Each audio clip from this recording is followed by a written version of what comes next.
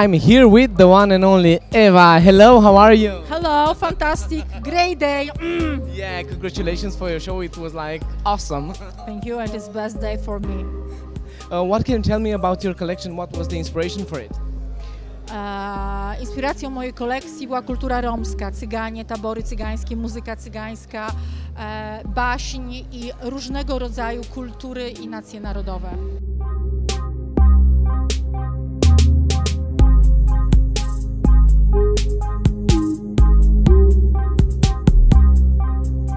Wszystkie kobiety w tej kolekcji były dla mnie piękne. Ta kolekcja stanowi jedną całość. Trudno mi powiedzieć, żeby któryś look, e, któraś suknia była najlepszą sukienką.